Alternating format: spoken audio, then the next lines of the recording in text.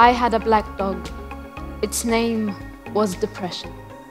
We first met five months after my 18th birthday in a doctor's office, right after a night watching the waves coming in and out, in and out, in and out, and a day contemplating.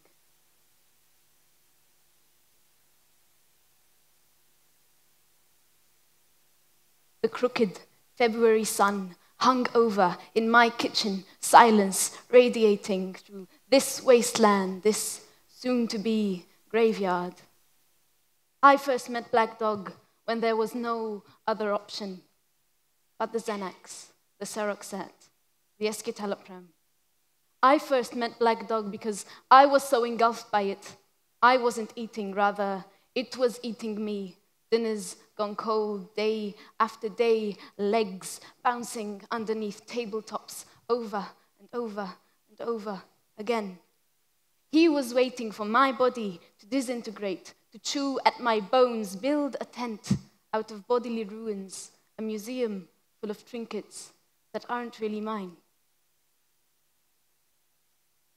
So when I unclasped, undressed, unzipped, undid my hems, cut me in half, found a silver thread lining my abdomen for the doctor to take a look, he spotted Black Dog bouncing on my ribs just underneath my breasts. He's prancing along the silk lined burrow in the middle of my chest.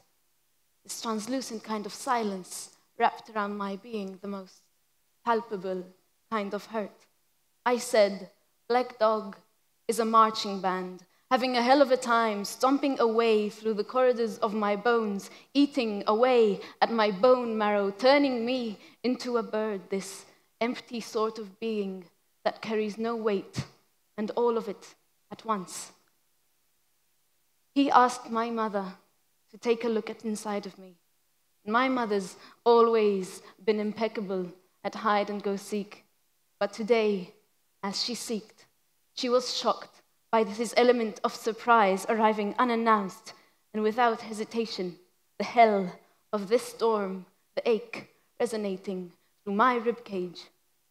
Because Black Dog makes everything that hurt start with a subtle ache. Some days with his hands in my hair, and other days with his hands gripping my hair like a rash that does not heal from patch to outbreak.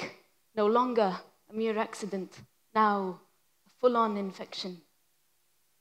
So he rips through the sickness and introduces everyone to the little girl buried inside of me. He makes me carry her with me wherever I go. Each night, this child, this baby, crawls up and down my down laid body, swinging from one rib to another. The edges of her fingertips fossilized into the white, she prances up and down my spine, singing songs of girlhood, Christmas, birthdays. So I never sleep remembering dog, kidnapping child, making her his own, untangling girlhood from womanhood, taking the reins in his own dirty hands. The child screams against the walls of my throat, begging out. But the louder she screams, the deeper I swallow. The higher the pitch gets, the deeper I bury her.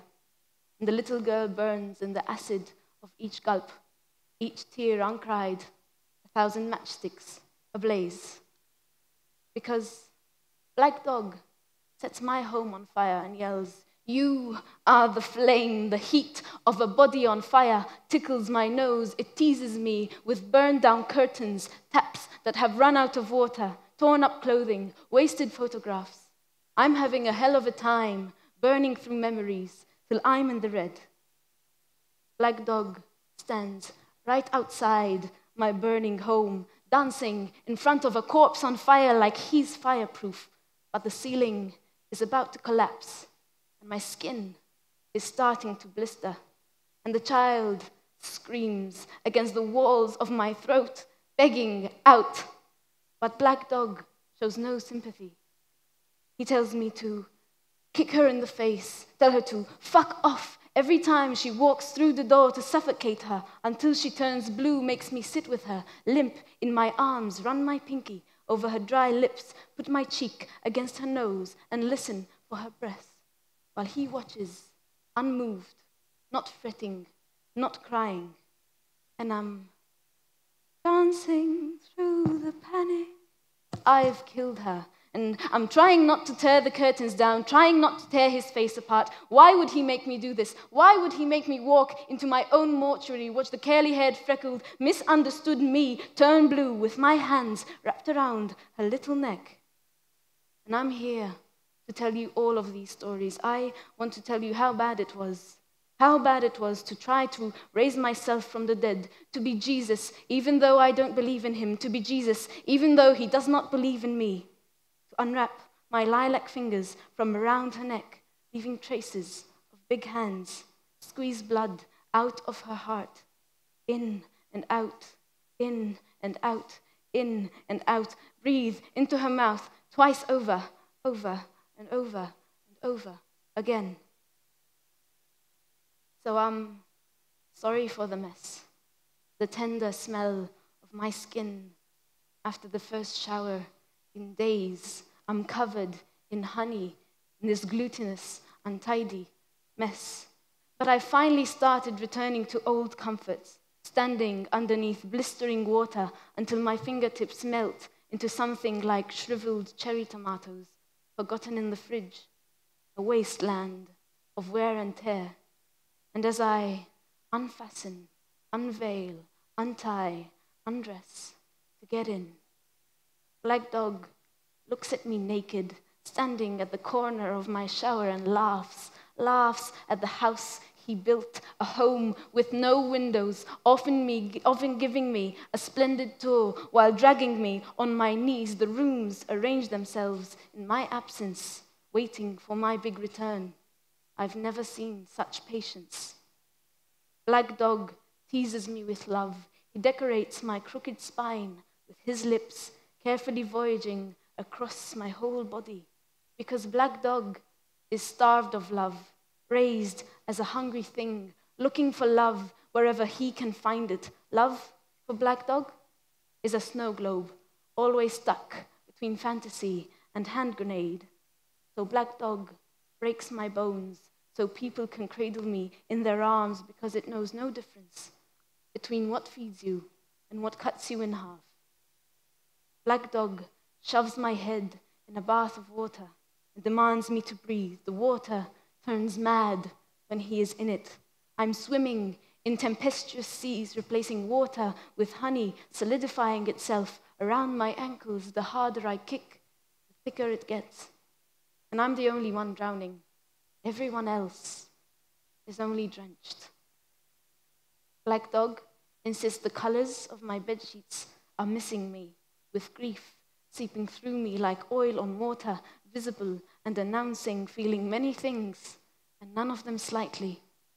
Black Dog says, Your bed is bleeding, each droplet spelling out your name. There's a lump in your throat, and it tastes like self sabotage. And we're reluctantly dancing, trying to avoid stepping on each other's toes and occasionally failing. And as I lay my head on the pillow, Black Dog shakes me awake, demanding me to dance again. He drops the medication into my throat. I try to guess why it has such a creepy, tongue twisting name, and as I crawl out of bed, I trip on my words. I trip on myself. Black Dog is the most stunning acrobat I have ever seen. Sometimes I can barely recognize its shape. He rides the bus with me, teeth dug into my right ankle, reminding me of the time I tried to drive and he insisted I let go of the wheel, drive right into some wall, telling me how exceptional it'll be to be surrounded by flames, tucking my hair behind my ear, whispering, I will love you if you stay right here. Black Dog kicks the back of my knees. I fall. I build a home there. And as I yell fire, I am already ablaze and I try to pet it dead. Stop, drop, roll. Most days, my body is a cemetery. On some, it is a museum of the things Black Dog did I never want to forget. And this is not a suicide note or a love letter. But when I notice my breast becoming more and more shallow, Black Dog's head pressing against my breastplate, I dragged myself into this burning home just one last time, tied my wisdom tooth to a doorknob and let it take with it all the answers. I wanted to drink myself to sleep. I left some pasta in the fridge. The floors were clean. White sheets folded at the edge of my bed, my clothes carefully organized by color. Everything was ready. But the silence changed. I realized something is fundamentally wrong with me. It was Tuesday. I hadn't washed my hair in five days, hadn't eaten in about 16. My best friend's voice holding my hand through the phone, my brothers hanging onto me for dear life, black dog wrapped around my ankles, because everything I touch becomes sick with sadness. And black dog makes you love in the weirdest of ways. So when my mother says, mind the dogs, do not blame her. She too would lock me up inside my home if she could. She'd sleep better at night, knowing no dog can walk through me, leaving his footprints behind within me, threading through the waters that will hold my daughters. So I'm here to tell you all of these stories. I want to tell you how nice it was to realize that my home is on fire and I cannot put it out using my bare hands. To see Black Dog make me set off the fire alarm face my haunting, stay with it, stick with therapy. Realize that March and June and October are really bad fucking months. Learn to breathe with a head submerged underwater. Take it two weeks at a time. That running on a treadmill that is stuck in forever plugged will eventually be the end of me. So I never fail to forget how Black Dog made me love myself as a childhoodless child, always this half grown adult drag the poetry on my wounds, and he's lingering near the door uncomfortably, begging me not to let him go. Black Dog fraternizes a fork with a spoon as he eats away at my tongue as I try to find the words. Because the truth is, I don't know what to do with it, but to write it, transcribe it into poetry, and I've tried to unfold it and bring the corners together like a worn out blanket, fold it again into a perfect rectangle. I've tried to toss it into the kitchen sink along with the dirty cups as if it were a pan, scrub the handles, the bottom, the insides, wipe it clean, dry it on a newly bought rack. I've tried to throw it into the washing machine along with the whites, wondering if it would come out pristine too. So Black Dog tries on my poetry like starched white Sunday clothes but the hem of the last stanza drapes far too low past his ankles, the metaphors too tight along his puff, chest. Is this one about me? Thank you.